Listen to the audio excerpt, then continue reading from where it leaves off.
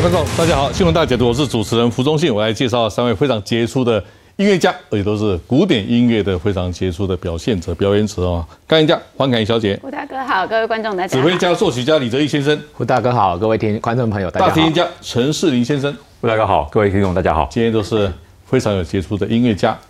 我为什么特别第一小时做古典音乐的呈现，而且是台湾的观点呢？我向大家简单报告，包括我们的三位来宾哈。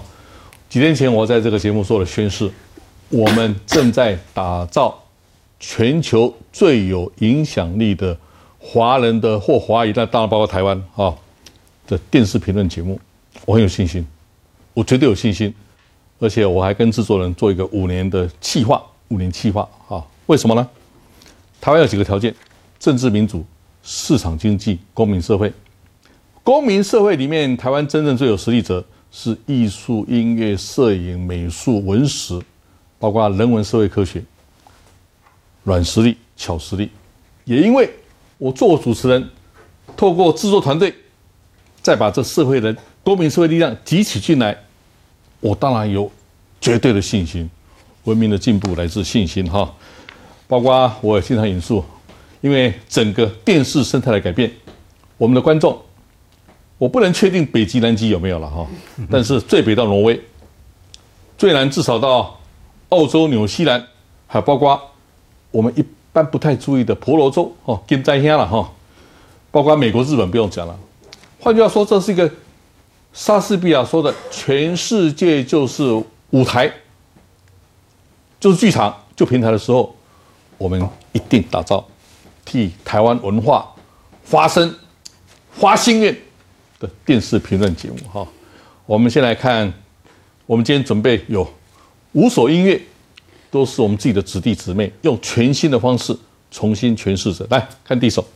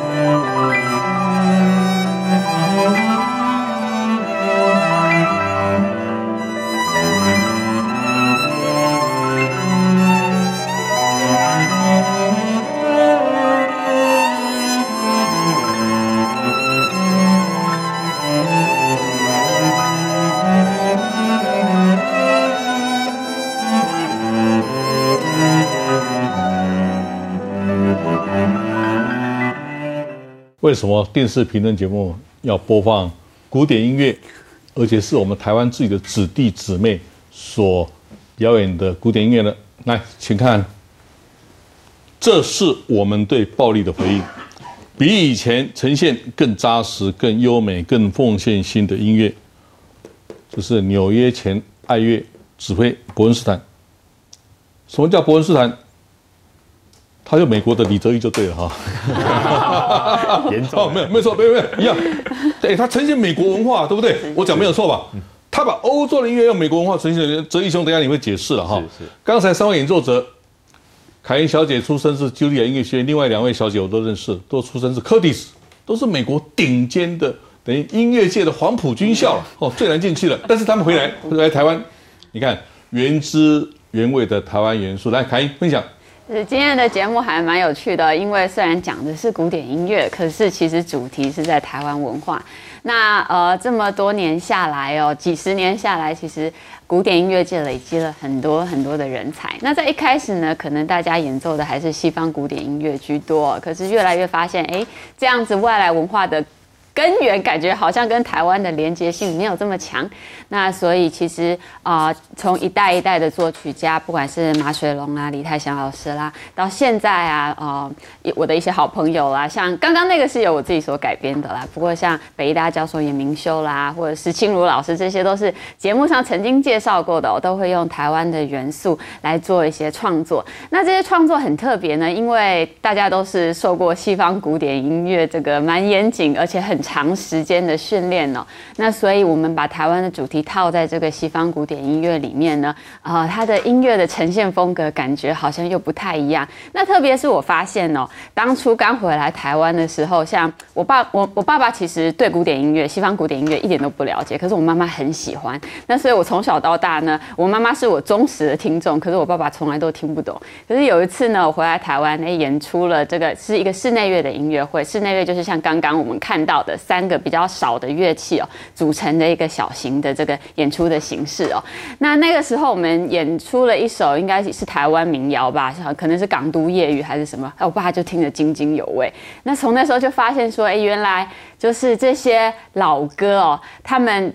听了这么长时间了，然后用这样子的方式，古所谓古典音乐的方式来呈现呢，他们也是非常非常的喜欢。那潜在的市场其实我觉得是很大的哦，因为这些歌，特别是对于这个年纪，像我爸这个年纪的人，他们真的很喜欢一听再听，所以才会有这么多台湾的作曲家不断的在这个题材里面去做创新、去做改变，然后去做改编哦，然后做不同的呈现。对，那相信呢，今天其实哦，我自己的经验呢，就是除了这。自己有做一些改编之外呢，其实也有像国外作曲家也会拿台湾的题材，不管是啊早川真昭啦，或者是我啊之前曾经啊演出过的，就是在中山堂音乐会也曾经介绍过的一位日本作曲家，叫做啊那个涩谷牧人。对，像这些国外作曲家也会拿台湾的素材，在古典音乐的这个 framework 这样子的架构里面做改编，所以我觉得这个还蛮有趣的，就发现哎啊那个音乐有着不同的呈现，而且都是我们熟悉的题材。好。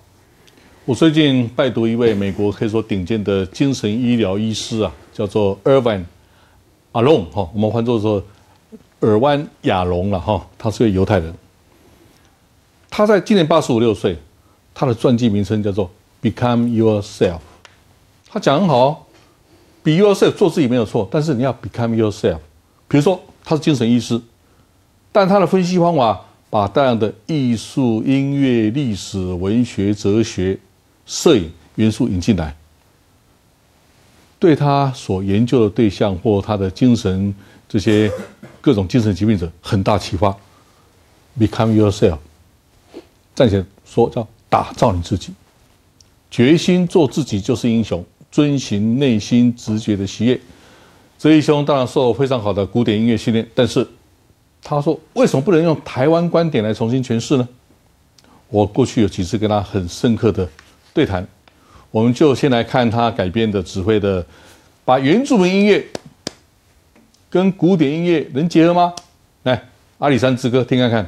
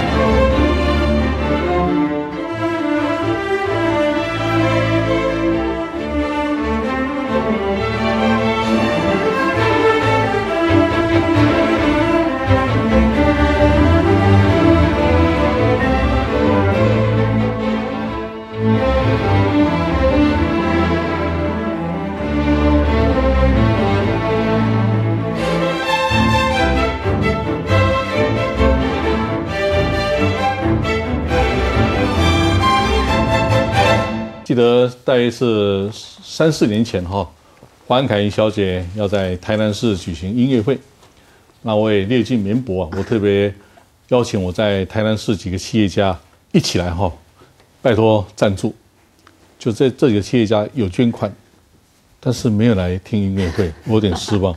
我跟他们说，啊，你有假付钱都无来，伊讲听无啦，我很不以为然哈。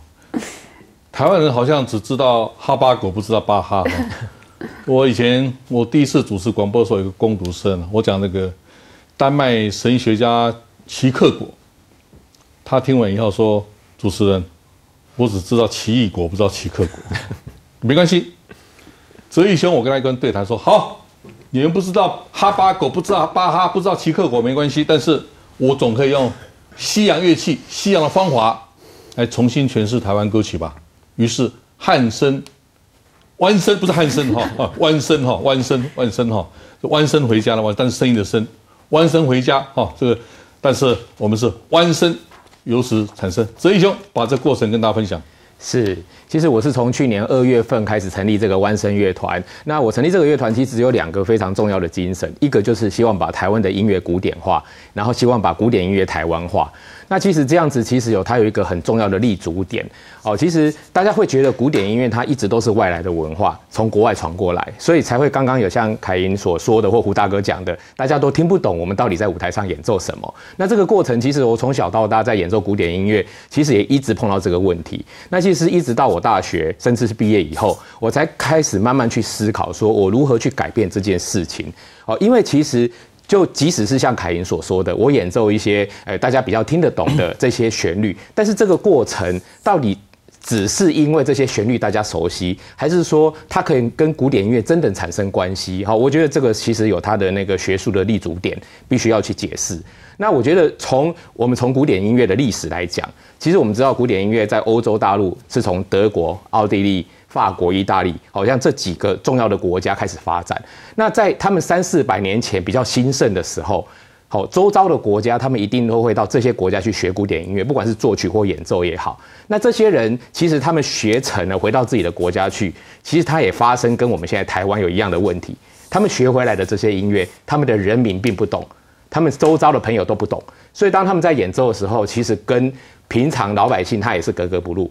好，所以其实在这个古典音乐的发展过程中，它慢慢会形成一种做法，叫做其实，在古典音乐史里面发生过叫国民乐派的这样子的一个发生的一个过程。那其实这个发生过程其实也有上百年的时间，也就是说，这一些到所谓的古典音乐中心去学习的这些音乐家，回到自己的国家之后，用古典音乐的技术跟技巧跟作曲的方法，慢慢的把自己的民族、自己的文化、自己国家的音乐的素材放到自己的作品里面。当这些作品回到自己的，就是说回到自己的国家的人民的耳朵里面的时候，我就慢慢有辨识度，我才会慢慢的去接受这些所谓的外来的古典音乐的文化。那这件事情在欧洲大陆慢慢发展成整个欧洲，大家都是可以接受古典音乐，然后慢慢的这件事情来到美国、南美洲，甚至是亚洲的日本，好，甚至到后来的中国大陆，到台湾。哦，韩国，我想这些都是一个过程。那今天我们在台湾，我们不能说好像台湾没有国民乐派这件事。其实早在三十几年前，我们知道马水龙老师、许长惠老师、好萧泰老师，他们其实都有努力过。但是这件事情，少数的几个作曲家在努力的时候，其实他没有办法成为一个气候。其实这个气候是需要。全民来做一个运动，其实我一直很同意，诶，胡大哥所讲的这个台湾的新文艺复兴哈，这样子的一个概念。但是其实我在十几年前我就开始跟很多音乐家朋友去谈到一个台湾的自己的国民乐派的运动，这件事情也非常重要。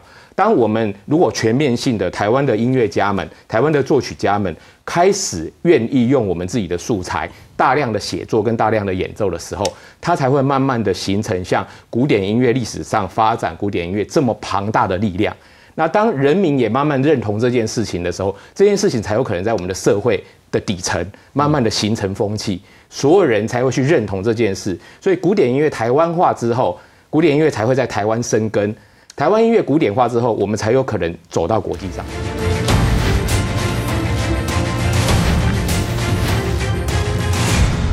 我刚刚提到音乐之父巴哈，他几乎三百年前的人了，哈。有一位法国钢琴家叫做 Jack Lussier，他受他是法国音乐学院最好音乐学院出身的。他说：“为什么不能把巴哈的音乐改成当代的音乐，改成爵士乐呢？”于是他大量把巴哈两三百年前音乐哦，用当代的爵士乐，当然法国式爵士乐演出。就在几年前，他还举行他的表演五十周年了。为什么不行呢？如果德国哈的巴哈音乐，法国人用法式爵士乐呈现，为什么很多音乐不能用台湾式的出现呢？刚才我觉得是口误，汉森，汉森是演一个一个摄影杂志啊，他叫弯生哈，由汉到台了哈，入入台了哈，脱脱汉脱雅论脱雅哈，哦托中哈，非常好哈。我外公是一个古典音乐爱好者，因为他是一个日本时代医生哈，那时候养在汉中古典音乐，他一直讲一个故事，我我当然要求证哈。他说那时候台湾人本身并没有交响乐团，所以是日本的内地哈交响乐团来台湾，听说第一次来台湾轰动一时啊。那就在今天的公会堂，就是台北市中央堂举行。那曲终人散嘛，有一个女士坐在第一排，一直哭，一直哭，就一直哭了。那指挥家手下来说：“哎，已经散场了，你，请问你先生是不是音乐界人士？为什么哭？”他说：“不是啦，我想到我先生。”他说：“你先生做什么职业？”他说：“我现在是弹棉花的哈，弹棉短短棉胚啦，短棉胚哈。”，当然这是个笑话，但我要求证这个故事，不知道是我外公编还是真的这回事。但是现在进化了。我们不是把交响乐弹奏弹弹棉花都要短来短去哈，是我们自己作曲家，我们的演奏者，而且变成世界级的这一点，我希望全世界的台湾人要引以为荣。我们再来看一段包瑞里斯弦乐四重奏的格里戈弦乐四重奏。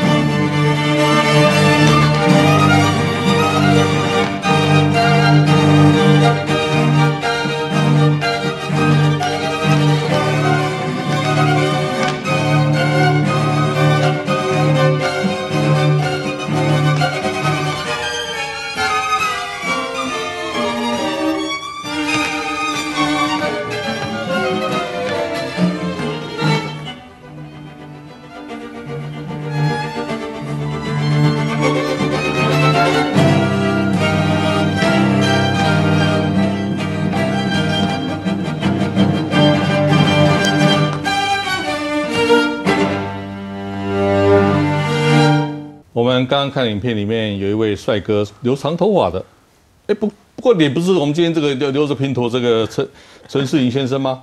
原来啊，他为了上我们的节目已经开始减肥了，减回二十公斤，而且我问他说 你你跑步的时候跑步是不是背着你大提琴跑？他说下次可以考虑 哈，要要要，你看很多人那个黄世哦，现在为我这上这节目，黄世哦，台湾留声机协会的会长啊。哎，他减了二十公斤呢，那不容易。所以我这个节目也造不少功德啊，哈哈。因为大家啊看上节目总要看 smart 这的哈。来，师兄，你你真的是背着大提琴跑步吗？是没有啦，就是，但是是想着大提琴的音乐跑步。呀呀呀！来，请分享。呃，就是今天我是大提琴家，然后今天就想说有这个机会可以介绍，因为大家对大提琴的想法就是第一个想到的应该是马友友，就台湾一般的呃音乐的爱好者。或者甚至不懂音乐，我想大家都知道马友友。那大提琴其实在我学琴这个年代，在二三十年前，其实大家都还是以钢琴或是小提琴呃为主要首选的乐器。那其实那时候学大提琴，我一开始我是学小提琴，我学了两个礼拜，但是就是我怕痒，我夹不住，所以后来真的就放弃。然后我也长得够大只，对，所以后来呀就觉得我手也算大，所以就就就开始学习大提琴。那大提琴其实对我来讲，它是一个很，呃，很温暖，然后很感性、很性感的乐器。我觉得大提琴算是所有在弦乐器里面，它音域算是差别最大，从最低的哆到可以很高、很高、很高。我觉得它能够呃去发挥的在音域上的部分，那个是小提琴或中提琴或其他乐器，我觉得呃可能没办法做到的。所以我自己也很庆幸说有机会可以学大提琴。那其实那时候很多我们班上女生后来后来才知道说，很多人都想要学大提琴，但是都没有学。然后我说，我就会说为什么？因为他们妈妈都觉得说女孩子脚开开的不太好看，所以都放弃。那要讲到大提琴的曲目，其实大提琴它的前身叫做 viola da gamba，就是呃用脚这样夹着的一个这样的一个乐器。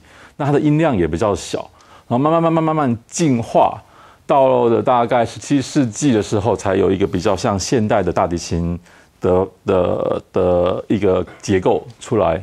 那一开始的大提琴在呃乐团里面，或是它基本上就是属于在和声上一个伴奏的一个一个这样的乐器，它并没有这么多的旋律在它身上。那但是有个作曲家呃呃维维瓦蒂。他很喜欢大提琴，所以他算是第一个算呃巴洛克的作曲家，写蛮多给大提琴的独奏曲目的，有很多的奏鸣曲，就是从呃维瓦蒂，然后之后的巴凯呃包凯利尼，他自己也是大提琴家开始。那我们大提琴里面有呃所谓的大提琴的圣经，就是巴哈的六首无伴奏，巴哈不是哈巴巴哈呀。其实这六首呃真的很重要，我想每个。呃，有心想要从事职业、成为职业大提琴家的，我想一定都会去钻研、去去学习这套曲目。然后它也真的很有趣，从第一首到最后一首，你可以发现它就像人的一生。从第一首的 G 大调就是很新鲜，就是很 fresh，一直到最后一首，呃的就是呃基督教里面有所谓的重生这件事情，所以他在第五号就倒数第二首是生老病死的最后。的死这个阶段，但是第六首他又重新一种荣耀的一种活过来的感觉，就真的你在拉完整套，你觉得就好像人过了一生的感觉。然后巴哈过后，又越来越多人开始在从事就是写大提琴的曲目，然后大提琴其实在这个阶段也慢慢的在一些构造上，呃，做了多一些改良，譬如说那个黑色那个纸板，后来又加长大概两到三公分，所以我们可以演奏越来越高的声音。所以也因为这样，越来越多作曲家就尝试着把大提琴变成一个主要的、很重要的独奏乐器。譬如说，像比较现代的，像从德弗雅克到像肖斯塔高维契、普呃普罗高菲夫，要怎么讲？普罗高菲夫，然后他们呀，普罗高菲夫，他们都写真的很难很难的东西。所以其实大提琴就慢慢的摆脱，就是之前只是一个伴奏的一个形式，然后慢慢慢变变成有机会变成一个很棒的独奏乐器。然后，其实，在整个乐团里面，大提琴也扮演了一个很重要的角色，就是我们跟低音大提琴，其实就是这个整个乐团的底，就是有这个底在的时候，听起来才不会哒哒，就整个乐团是有能量一直往前的。那，所以大提琴是很重要尤其，就是大家比较听到旋律就是小提琴，但是没有大提琴也衬托不了小提琴的这些旋律。下次记得好吗？不要是大提琴叫马友友哈，还有陈世林哈，我来诠释哈。可以说，二十世纪最伟大大提琴家 p u b r o 卡萨尔斯，嗯，哦，保罗卡萨尔斯了哈。他讲一句话最常引用：“你们谈政治，我谈原则，很有道理吧？”嗯，各位，我们这个评论节目，你们谈政治，我们谈原则，我们谈做人的普世价值原则哈。没有比这位伯恩斯坦讲的话更好了。我觉得指挥家、音乐家有时讲的话真是经典。他说啊：“为什么到音乐厅去？”因为走出音乐厅，好运就来嘛，讲太好了。没有人比莎士比亚诠释更好。莎士比亚哇，用最简单的语言来诠释最深的道理。他说：“音乐是灵魂的养分。”呢，我说讲多好啊！舒曼，这位伟大的钢琴家、作曲家，也是知音者，拉拔钢。那时候的十九世纪很多他拉拔出来的。他说：“艺术就是把光明投射到人类灵魂的。”暗黑之处，有一次我就在那个凯英的脸书看到你用用这句话，看一次就背起来了哈，就这个道理啊。我们为什么这个评论节目要呈现音乐？这几位，包括他们所说，已经呈现非常清楚啊。所以我要再强调，我们的国家认同是建构于文艺复兴的文素养哦。我们是每天在推动台湾文艺复兴，我们用本土的台湾的观点来重新诠释各种乐谱、一种意象、一种想象、一种五度空间，就是要呈现台湾文化、艺术、音乐的精华。我们再看一段我们自己子弟姊妹所作曲、所改编的自己的曲子，来。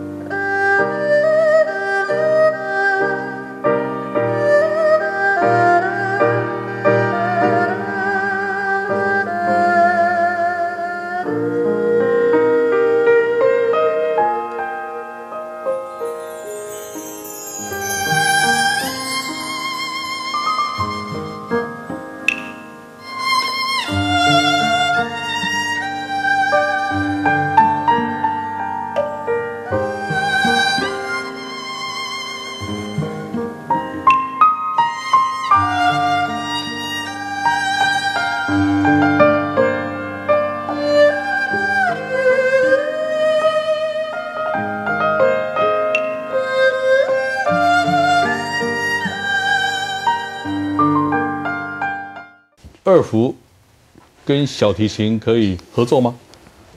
有一次在中山堂举行音乐会，那是凯英小姐演奏钢琴哈，我坐在台北市市长柯市长旁边，他就轻声问我说：“哎，二胡跟小提琴可以合奏啊？”我说：“为什么不能合奏？” 哦，就像他蓝绿通吃一样，他他也是这样子嘛。好，刚才我看到凯英小姐穿的衣服啊，让我想起几天前八月一号是台湾原住民日。行政院发言人古拉斯小姐，因为她是阿美族，她穿的那件衣服，哎，敢问看一下，她是跟你借的，是不是？应该不是，因为那那蛮像的，还在我的那个衣橱里。可能是因为都是用原住民的图腾吧，所以可能你那件衣服是怎么怎么是象征意是什么？那件衣服其实之前在节目上有介绍过，就是它啊，因为开始做了一些台湾音乐的呃，就是重新的改编啦、探索啦，然后一定会找到原住民的音乐嘛，然后开始跟一些原住民的朋友一起演出，然后总是觉得他们的衣服特别漂亮。然后我就穿那个素素的那种晚礼服，就觉得很不合，所以就决定要做一件衣服是可以跟他们比较搭的。所以这件衣服呢，其实上面印的是原住民的那个图腾，不同族的原住民图腾。那就是希望呢，不管我跟哪一个族一起演出的时候，都可以百搭，就是我都可以跟他们很像这样子。所以是不是请各位都有带一些 对对对资料跟大家分享好吗？好啊，是啊是，对。所以其实我刚刚听了李哲毅老师讲国民乐派这个概念，我觉得很棒哦，因为呃，国民乐派不但是有那种。浪漫派的这种激激情啊、感动啊、撼动人心的这个因素，然后又有很强烈的民族色彩在里面哦。那呃，其实很多的作曲家，甚至连我自己，有时候开始做这样子的音乐的尝试的时候，除了音乐旋律重新改编这个本身之外呢，有的时候是做整体表演的一个另外的一个思考。那像这个就是我刚刚讲的，跟原住民，这是台湾跟布农族的原住民哦一起演出。出的一个照片，就是刚刚那个在花莲场的一个叫《我的故乡》的一个演出哦。那这个就呃稍微比较特别了，就是是在呃阳光在缅甸。那这边做的是西方的这个弦乐四重奏，那这边做的是缅甸的这个呃算是他们的他们的 ensemble，他们的小型的乐团哦。那我是在后面钢琴，这个是算是缅甸的乐器之王吧？那这个是西方的乐器之王哦。所以这个其实这个整合完全不是问题。对，其实这个是也是我这个部分想要就是跟各位分享的。有的时候我们不管是做跨文化，因为所谓西方古典音乐到台湾音乐也是一种跨文化。那像这种台湾跟缅甸的这种融合，也是一种跨文化。当时我是演奏的也是一些台湾主题的一些作品哦，还是会有它的挑战，甚至是有时候跟原住民音乐合作也是会有他们的挑战，因为我们西方古典音乐常常都是讲小节，一个小节就是几拍，可是他们没有，他们唱他们的古调啊，这个没有在算拍子的哦，然后都是用他们的就是真情流露的这种方式去唱。你怎么样要让这两个并存的同时呢，又可以保持着呃，就是大家的应该有的精神跟韵味？我觉得这个是有的时候在做跨文化的这个编曲或者谱写的时候，一个还蛮具挑战的地方。其实我们的新生代的演奏者或作曲家哈，他已经开始不仅是用西方的古典音乐的方法思维来重新诠诠释本土，还重新创造，嗯，然后把各种表演艺术不断跨界，也是过去所没有的哈。我刚好今天看到一个新闻哈，是在脸书传的，台湾每天都有第一耶，不要认为只有做面包第一好吗？就在今天啊，有一个合唱团到意大利的罗马参加，好像国际合唱团比赛就得第一名啊。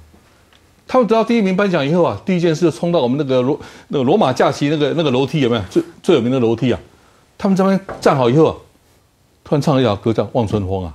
哎，我们这种是绝对控制情绪的人，看都会哽咽，哎呦，很感动，眼眶都都都都会湿润啊。为什么？《望春风》就是一百年前邓雨贤先生创造的，二三零年代。然后他也是台大校歌，他是台大国歌啊，也是台湾国歌啊。我海外北美洲台湾人，你承认吗？台大校歌，台湾国歌嘛。好，我们来看李泽毅指挥家、作曲家，他怎么改编《望春风》，用最完美的方式来呈现。来，请。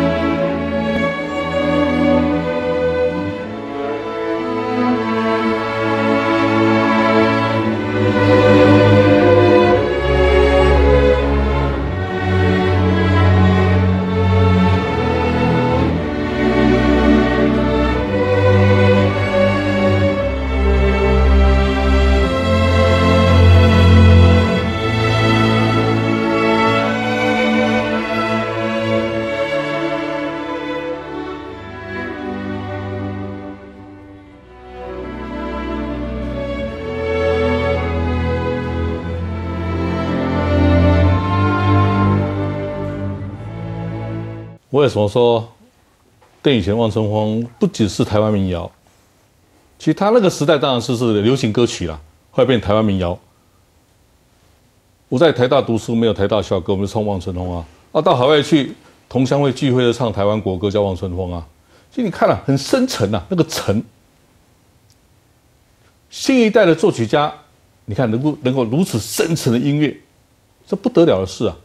就像我们听这个马勒的第一哈这个交响乐团第一首，马勒他是当然是奥地利人呐，他把华国民谣我们最熟悉的两只老虎有没有放进来，多好听啊！换句话说，音乐家充满想象力，能跨时空的、跨国界的不断提出新的诠释。哎，这个哲一兄，未来你要做什么？是，其实像刚刚胡大哥所讲的哦，其实就是我刚刚一直提到的台湾的国民乐派的一个运动，其实就是像刚刚胡大哥讲到，马勒用了法国的童谣，对不对？一样，德伯扎克他到美国去做新世界交响曲的时候，他也用了黑人灵歌，对不对？然后像那个佛汉威廉士，他写的《绿袖子幻想曲》，也是用了几百年来英国人所最熟悉他们自己的歌谣来放到他的作品里面去。哦，那所以其实像刚刚大家听到的，我们这个用。汪春风这样的一个作品，其实这样子的作品，我们自己已经这十几二十年来，我已经在全世界很多地方都做过表演。其实刚刚汪春风这个作品，我曾经在七年前在英国皇家音乐乐呃音乐厅表演的时候，其实表表演完之后，有有那个工作人员跟我说，后台有人找你。我想说，我其实不是留学英国，我在英国也没有朋友，为什么会有人来找我？后来我就到后台去，然后就远远看到一个英国的满头白发的一个老太太，是英国女王啊？哎，不是，对她就是她在那个演职员出入口那边，然后我就去跟她打声招呼，然后她就说：“我知道你不认识我，你也觉得很奇怪，为什么要找你？但是我觉得我今天要跟你说一句话，因为我今天晚上听到你演奏的这首音乐，是我这一辈子七十几年来。”听到最美好的一首音乐，哎，就是汪春风。哎，不久前啊，去年台湾一个交响乐团到东京演出，是安倍首相的妈妈也是听这个汪春风。汪春风，他说从来没有那么好，没有听过的好听。他就一个英国或一个日本的女士，优雅女士。它反应是一样的，为什么？是，所以我觉得这个就是我们自己文化的保障。我们常常在我们自己的国家，在自己的地方，你没有这种感受。但是这样子的东西拿到国际上的时候，其实所有人都眼睛为之一亮。其实就是告诉我们，我们一定要珍视自己的文化。如果我们自己台湾的人都没有办法珍视我们自己的文化，我觉得未来台湾的文化就会消失。可是这是很可怕的一件事情哦，所以其实我们现在也是说在呼吁台湾的音乐家们哦，不管是从作曲的角度，我们应该用自己的音乐的元素来做。其实包括我们自己的演奏家，我们自己的演奏家，我说实在话，我们都可以在国际上拿到大奖，对不对？但是如果你今天在国际上的演出跟所有音乐家都一样，演奏的还是所谓的古典音乐传统作品的时候，其实你跟其他的作那个音乐家其实没有任何分别的。可是，如果你今天所带出去的作品都是属于台湾自己的作品的时候，我想在市场区隔上，在你个人演奏的特色上，你一定会找到属于自己的方向。我觉得这个从商业利益考量，它都会有一定的一个立足点。我想这也是说我们现在大力的在在做这样的事情一个最重要的哦，像我去年这样成立这个乐团来说，让大家可以看到这一张，这是我们今年三月一号在国家音乐厅的第一场音乐会。那我就用整场的都是我们台湾的音乐来在我们台湾的最高殿堂里面做演奏。我想这件事情已经是可以可以做得到，而且其实也蛮常有各式各样的团队来做这件事情。哦，那像那一天的演出，基本上是九成以上的观众跟我们一起在这边享受我们自己的台湾音乐，在台湾的音乐最高殿堂的表演。哦，那当然我们万声乐团不死就只有在音乐厅演出哦。你像我们到那个那个南回北回归线的地方，我们我们其实到花东去做一个一个应该说下乡的行脚巡回，我们带着音乐家，带着我们所谓说古典乐器不能在户外或者不能怎么样，可是其实我们都希望让古典音乐，让台湾的音乐走到每个地方去跟跟大家接触。好像除了这样子的一个一个，好像这个我们在日出的时候。大家就在早上四五点就在海边这样这样的表演，对，然后还有像我们就在火车上快闪，所以就跟火车列车长啊，跟很多人一起来共享我们的音乐 哦。像这个，我们就到那个很偏乡的学校去，全校就在那个应该说在操场，然后就坐在阶梯上听我们的演出哦。这其实我们都希望说，好像这在一个很很百年的大树下，我们跟小朋友一起做表演哦。还有像这样子，我们就是真的到那个。火车站的月台去做快闪，哦，还有我们到稻田里面去做表演，哦，这这些其实都是我们希望这些音乐本身会在哪里发生，其实是我觉得是人决定的。如果你今天决定让这些音乐走入民间，其实这件事情就会跟人民有关系。如果说古典音乐家一直都只希望在正式的殿堂上表演，我相信这件事情他会永远停留在殿堂上。在殿堂上，我觉得只有少数人有那个时间、跟那个精神、跟机会去接触。所以，其实有一个很很有名的剧场的一个导演，他说过一句话：如果人们不到剧场来看戏，那我们就把剧场带到人们身边。我觉得至于音乐也是一样，如果大家不到音乐厅来听音乐，我们就把音乐带到人民的身边。我觉得这个今天要推动台湾自己的音乐、古典音乐文化，最重要的，我想就是那一颗心。你愿不愿意让这些事情都跟每一个人分享？不管任何的社会阶层，你也不管任何的大大小小的场合，这些事情都可以让它发生的时候，我相信在这块土地上要一直演奏我们自己的音乐，它就是变成一件垂手可得，而且是很自然的事情。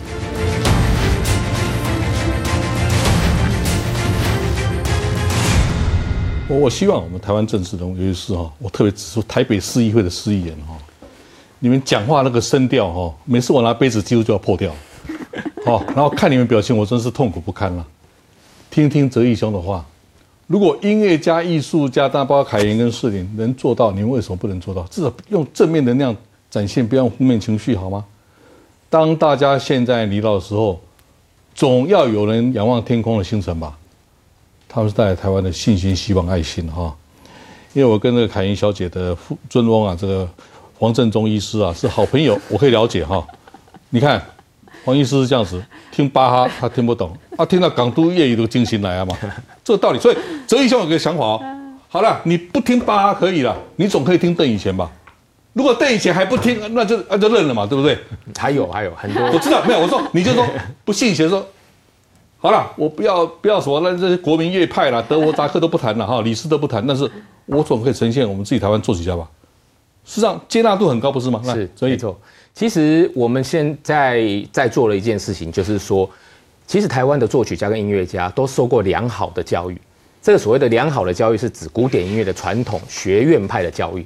所以，其实每一个人的学艺里面已经都留着这些的专业水准跟技术。嗯，所以今天我们有这样的能力，不管我们用什么方式去做，它已经都可以称为古典音乐了。对，所以这样子的一个立足点来讲，其实我们就应该要好好的站在这样的基础上，好好的把台湾音乐跟古典音乐的根从这块土地长出来。非常好。嗯，我来回应你，莎士比亚说的：“全世界就是我的舞台啊。”全世界就是台湾音乐家的音乐厅舞台。师大音乐学院院长杨爱玲教授，哈，他是国内非常有名的声乐教授。他说：“不要低估过去我们在小学的时候的，你看一个学校，连都市也一样了，就两三架风琴，大家没有记得搬来搬去的。哎，台湾小学的那一个学校才两三架风琴搬来搬去，哈，音乐课搬来搬去，培养大家音乐种子。”他说：“台湾的音乐教育非常成功啊，我同意啊。我举个例子哈，凯琳小姐她是努力，有一次她自己作曲哈，我一定要知道说，你把李斯特跟那个邓以贤把它结合起来。她说你怎么知道？我说李斯特李李斯特的《爱之海》，我只知道一千零一条，知道这一首，马上听出来哈。说你看台湾音乐家不只是诠释李斯特或邓以前，是把这两者结合起来嘛？这种尝试是非常好的。好，世林，你刚。讲一大堆音乐理论了哈，好，现在实物分享了吧？因为走出去了嘛，嗯，哦，那个大提琴就是你的机关枪嘛，哦，就是你的武器了，文文文化重装备重装备了哈。未来怎么做？把台湾文化的理念后面的深层的人民的生活方式那些哲学思想，怎么通过音乐来向全世界宣达？来，先视林。呃，其实我跟哲毅呃也认识了很久，大概快快二十年了。然后我在呃二零零六年，就是那时候考上在加拿大的一个学院四重奏。然后我在二零零八年的时候，就突然觉得说，要我们希望有一些曲子，我觉得属于我们自己四重奏比较特别的，所以那时候就特别商请哲毅帮我们编了一套，里面包括。望春风，嗯，然后第六第六档啊，天宫落水，还有这一自己的作曲，呃，妙成，然后就是真的都很棒的曲子。然后本来我们只是试验性的想说把这个曲子放在安可曲，让国外的听众，就我们那时候的演出主要就是我那五年也演了六百多场吧，然后就是在呃北美是最多，然后亚洲，然后欧洲也都有，然后后来。我们有一次，我们经纪人听到我们的录音，听到这些 uncle，他觉得，哎，这个什么曲子还蛮好听的。然后我们就说，其实我们有这样一套。他说，不然那你们明年就能不能把这整套就放在你们的呃标准曲目里面？然后我们就我自己有点不好意思，我说真的吗？可以吗？然后其实我当然自己心里面觉得很爽，然然后也然后我们也特别就安排了，就是用这些音乐去简单的讲述台湾的一些历史，那也的确获得很大很大的回响。就那时候我们呃，因为奇美赞助我们乐器四重奏，所以我们也帮他们录了一些唱片。然后通常在演出完之后，大家听完这些曲子就说：“哇，我要去买那一首曲子的 CD。”所以我自己觉得很骄傲。我觉得我们有这样的音乐，然后然后能够以像室内乐这样的形式，我觉得至少我觉得我在国外的那几年，我觉得我有试着在做我自己，我觉得音乐家该做的事情，就是让更多人知道我这个国家还有我们国家上美好的文化这件事情。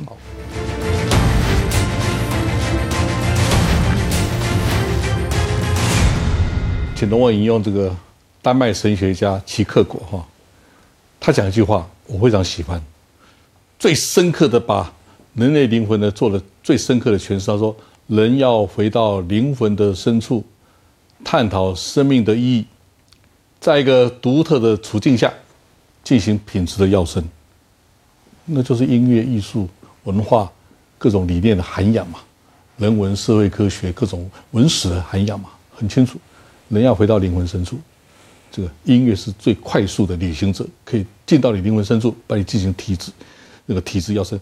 各位计划好吗？我们请这个三位来宾哈，你们已经有所成。我们要展现是，我们要透过这个节目，我已经立志要做全球最最好的华语节目，你们要立志做全球最好的音乐家了哈。我们的软实力，我们的巧实力，我们怎么继续呈现？一起来努力来，先凯英小姐先。是。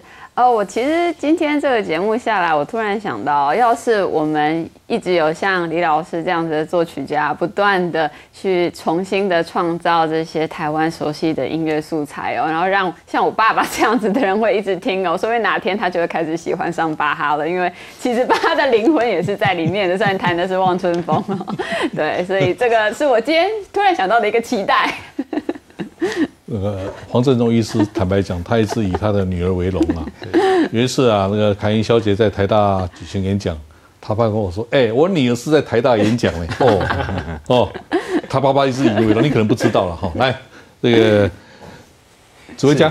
其实我们常常在讲台湾这块土地，它有各式各样的族群，不管是从三百年以前来的，或者现在的新住民，其实有太多的多元文化在台湾这块土地，所以你很难去定义台湾的文化到底是什么。嗯，但是对我来说，我觉得最简单的一件事，在这块土地上所有人有什么共通点？其实只有一件事，就是大家死了以后都会葬在这里，所以只有文化能够传承下去，造就我们台湾自己的未来。好。我最喜欢一部电影叫《希腊走吧》，安东尼昆演的。我最喜欢最后那句话，他经过人生波折啊，最后那个安东尼昆啊，这个希腊走吧，他讲一句话：“Let's dance。”两个跳起来，希腊音乐就开始了。克里特岛的音乐，哎，对对啊，我们台湾人这样子吧，Let's dance，Let music。来，四英雄，请。我觉得在国外学习呃古典音乐的技术这么久，也在国外工作这么久。我觉得对我来讲，我觉得能够在这些技术上的提升之后，回来自己拉自己所谓的这些台湾自己属于自己台湾的旋律，我觉得能够提一直去感受到台湾这块土地的美好。我觉得这，我觉得这是身为一个台湾人，我觉得非常非常非常让我觉得很骄傲。就我自己也真的是我很容易就哭，所以我每次其实坐长荣航空回来，我下飞机听到那个音乐，我也都觉得。回到家的感觉真好。好，我讲典故好吗？长龙航空的创办人张荣华总裁是非常喜欢这个台湾民谣的。他以前做捷克航空啊，捷克航空下降的时候就放史梅塔纳的《我的祖国》了。嗯，他说捷克航空可以放他们最好音乐家史梅塔纳的《我的祖国》，为什么我们长龙航空不能放台湾的音乐呢？我不知道他回忆录有没有讲这一段，但是他跟我讲，我觉得很有道理啊。你看，嗯，然后他付出很大代价，为了听台湾民谣，他还养了交响乐团，我为了喝牛奶，为了喝牛奶买一只乳牛了哈，是吧？长隆交响乐团，盖个牧场。我希望大家继续努力下去，不管官方的、民间的，一起来努力下去。我已经下决心了，各位也可以看出来哦。主持人工作就把台湾第一流人才到我这节目来分享。我说第一流的节目很简单嘛，我们要改变游戏规则，政治评论节目不是只有负面情绪而已，文学、艺术、音乐、文史、摄影各种人文的理念，这才是真正电视评论所该做。也因为这样，我对这个节目未来，包括各位的演出充满信心。谢谢。谢谢。谢谢。谢谢。